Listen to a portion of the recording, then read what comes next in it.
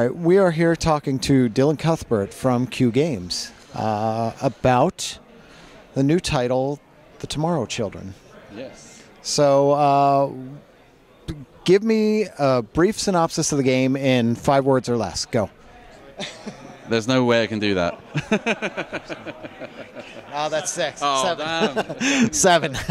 okay. Um, so, well, why don't you give us a little bit longer, but some kind of uh, some sort of brief explanation of what this crazy game is.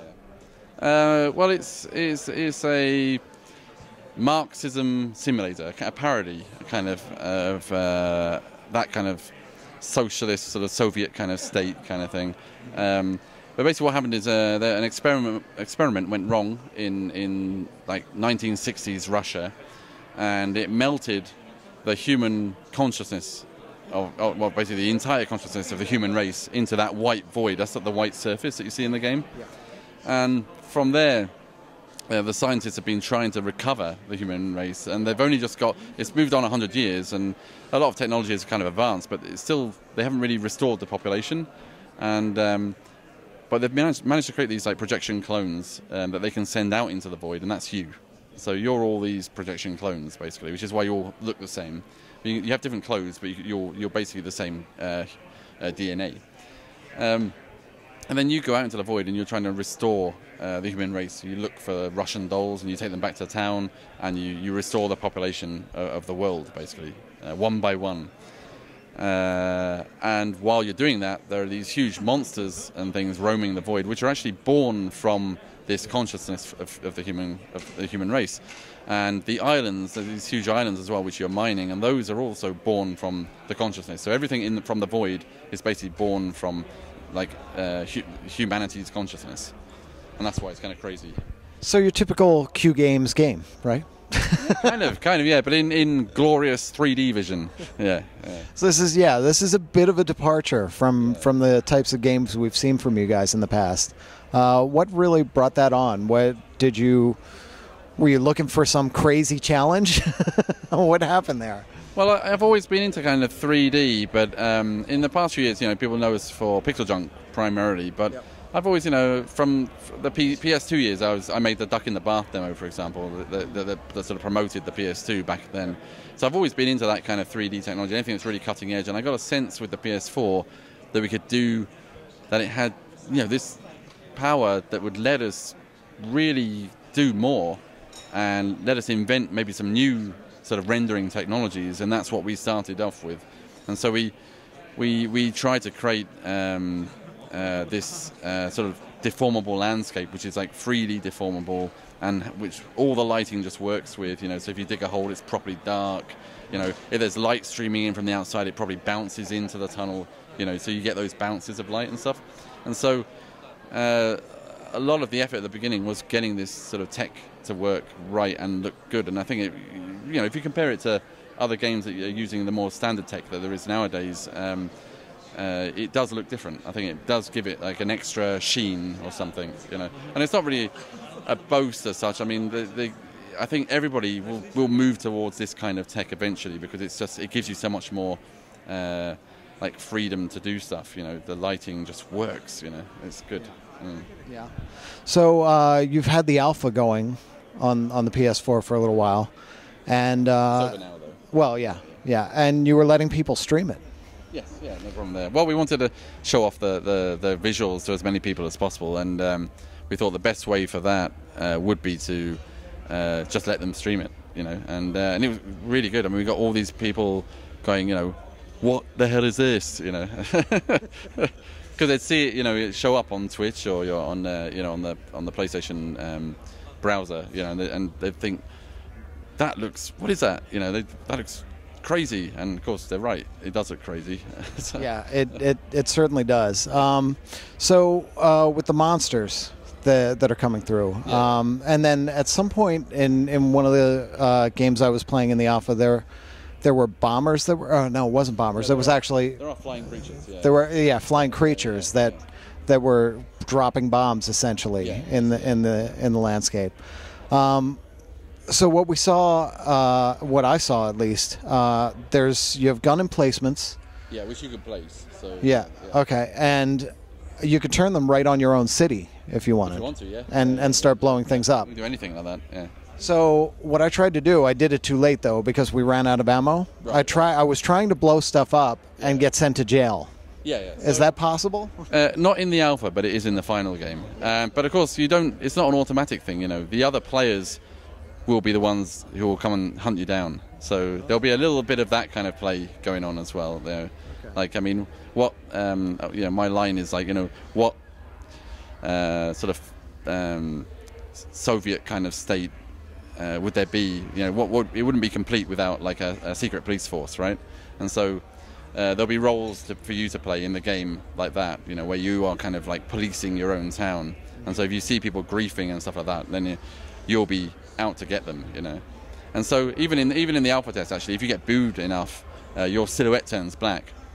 Uh, and then so whenever, when everybody sees you around and they see that you're black, they go, "Well, he's a wrong, and I'm gonna, I'm gonna have to sort him out," you know. So um, that kind of th- thing is what we're hoping. We want a natural solution for that kind of thing because it's fun. We don't want to get rid of it because we don't mind the occasional person like you know being stupid like that, you know, because it's some people just want to do that kind of stuff, but we do want we do want it to police itself. Like we don't want to have rigid rules that will stop that.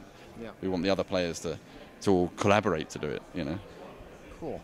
Um, now, one of the other things I was seeing there, you can bring people back. Uh, there, or there were other people in the town, Yeah. like old women and and Yeah, things like yeah, that. And where were they coming from? I didn't quite get that when I was playing. So they are the uh, the lost population, basically. They they are the real humans. Uh, you're just a projection clone in the game. So um, you find Russian dolls out in the islands, and you and you bring those back, and they, they basically have, have the DNA locked within them, like for safety. They're like little like safety containers.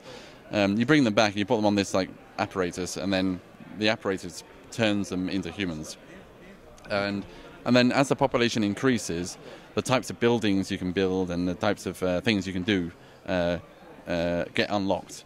Um, but at the same time, you've got to keep all those population fed. So you've got to keep you've got to you know uh, farm apples and stuff like that, keep trees healthy and you know that kind of thing. So there's a whole section of the game for that side. So people who are like farming, they can do that, while the other people who like shooting and destroying things can go and you know take down the monsters. So it's it's a really good kind of balance, you know. Okay. And I had heard that uh, there are other towns uh, that you could come into conflict with at some point. Is that possible? Yeah, not Is that really? Yeah, not conflict so much, but um, there are other towns. Obviously, other players will be in different towns, um, and there'll be uh, basically a train system, uh, an underground train system where so there'll be you can get in the station, you, you pay a few coupons, um, and you can go to another person's town, like a, your friend's town, for example. Just go to friend's town, and you'll be there as a uh, as a visitor. Um, so if you log off and log back in, you'll be back in your town, so you have to go back there.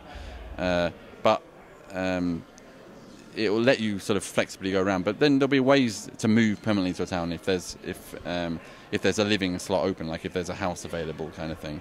So it'll be it'll feel like a very living, breathing kind of universe, you know. So in the alpha test, it's just like one town, and it's like you know you clear it or you you uh, uh, fail, you know, you, the town gets destroyed. But in the in this in the, in the final game it'll be uh, per- more permanent so you know you decide where you want to live and you you live there and you and then you're all working together to try and protect that town and then uh, there'll, there'll be like a ranking system against other towns, uh, which means that you'll be trying to make your town better than other towns, just so you get uh, more uh, experience points and stuff, because you'll get like bonuses from that. So, Cool. yeah. Oh, and there's also interpersonal ranking as uh, inter inter civilian or citizen ranking as well, where um, uh, you know every uh, game day, you know uh, you get listed up against the other players, and so the people who work the hardest get more experience points. So there's that that there's that sort of um, competitiveness in there as well. But most part, it's all very collaborative. So, Okay. Yeah. real life, you know, Yeah. you're collaborative and you're competitive. I liked. Uh, I like that. Uh, all you have is apples, really, to eat. Yeah, yeah. There will be different fruit though. There will be. But it, it's all fruit, though. Okay. Yeah. Okay. At the moment, I mean, maybe we'll put an apple pie in somewhere, but you know. But there'll be, you know, um, in general, it's um, right now it's just fruit. Yeah. But there'll be, each different town will have different fruit. So. Oh, yeah. nice. Yeah. So, Okay. and you can take it back to your town as well. So you, could- you could start growing other towns' fruit in your town if you want to. So. So there'll be that sort of like, sort of I don't know, um, Animal Crossing style kind of play in there as well. So. Cool. All right. Uh, now, uh, left field question um, or left field question comment. Um, you and a bunch of the guys uh, have put together some amazing videos where you where you play where you play a lot of uh, New Order songs and things like that. yeah, yeah, Uh, could you tell people about that who might not have seen it? All right.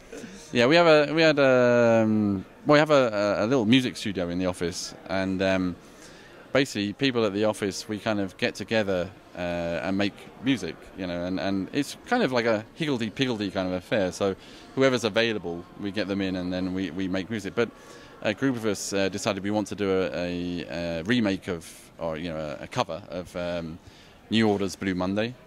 Uh, because we're big fans. And it's awesome. Yeah, and we, and we put a lot of effort into it. Um, we spent like two or three weeks rehearsing, like every lunchtime, and um, and we got all the right sounds. We tried to get as close as we could to the original sounds, uh, and we, we just had great fun, like you know, getting it you know down, and it, it was worth, you know, it's really good fun, you know, and um, and quite difficult. That drum beat is it's originally an electronic kit, you know, it's a it's a sequencer kit, but we did it live.